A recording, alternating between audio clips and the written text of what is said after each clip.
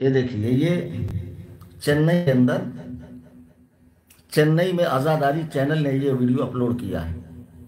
शिया Sunni unity movement के ज़रिए तमाम तमाम बिरादरान अहल सुन्नत, व बिरादरान अहल तशो जविल एहतराम पर्दा नशीन खवातीन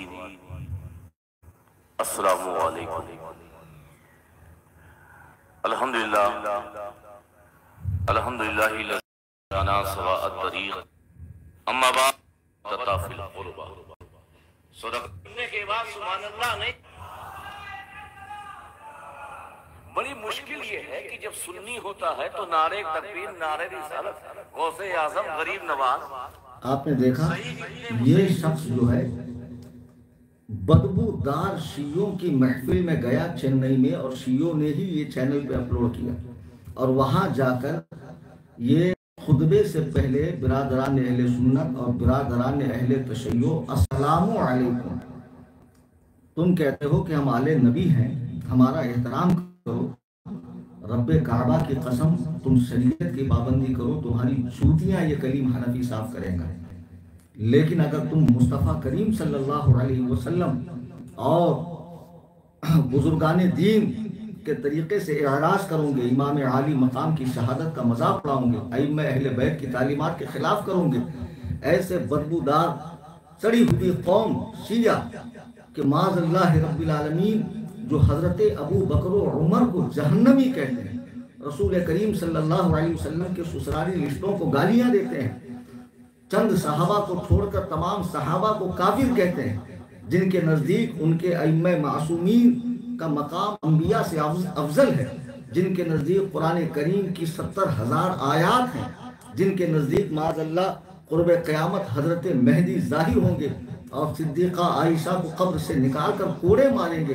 ऐसी बदबख्त कौम के यहाँ जाकर तुमने प्रोग्राम किया, उन्हें सलाम किया।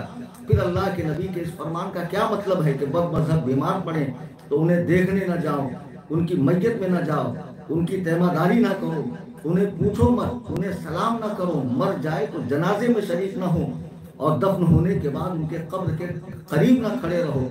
अल्लाह के नबी का ही ये फरमान है, हम फरमान सुनाने से बुरे हो जाएँ और तुम्हारा ये काम खुल्लम खुल्ला एलानिया शरीयत के खिलाफ।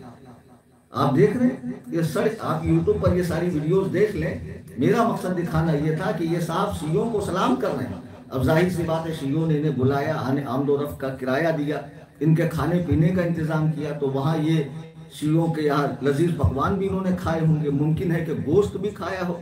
और जबीहा, आपको मालूम है शीयों का हराम, सख्त हराम सुवर से ज़्यादा नापाक है।